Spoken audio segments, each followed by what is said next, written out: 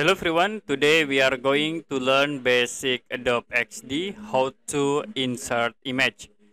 So if you want to insert image in Adobe XD, you can go to file menu, click import and set for your image as example I will use this image, click import.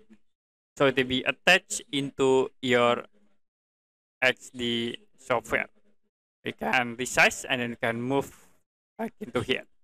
So you can insert by clicking file, go to import and search for your image. I will use this image. Click import and then it will be attached into your file. Okay, that's it for basic Adobe XD tutorial, how to insert image. If you have any question about tutorial, you can comment below this video.